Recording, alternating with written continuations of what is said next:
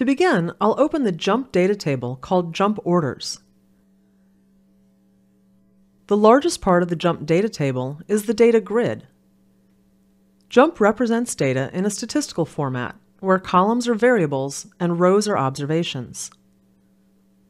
This dataset contains records for five years of orders from our online sporting goods retail company. You can see in the rows panel in the bottom left corner of the window that there are a total of 185,013 observations in the dataset.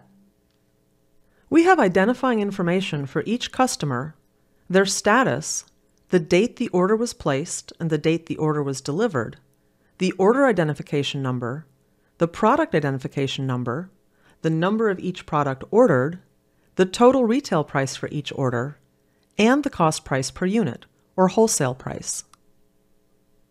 We can start to visualize our data within the data table by clicking on the Show Header Graphs icon in the upper left corner of the data grid. This shows that the data table contains orders from 56,027 individual customers, that the levels for customer status are gold, platinum, and silver, and that there are 3,124 different products. For the continuous variables like the dates, quantities, and prices, we can see the ranges for those values.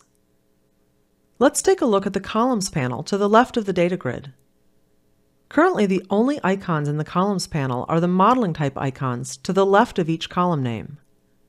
The three most common modeling types are included in this data table.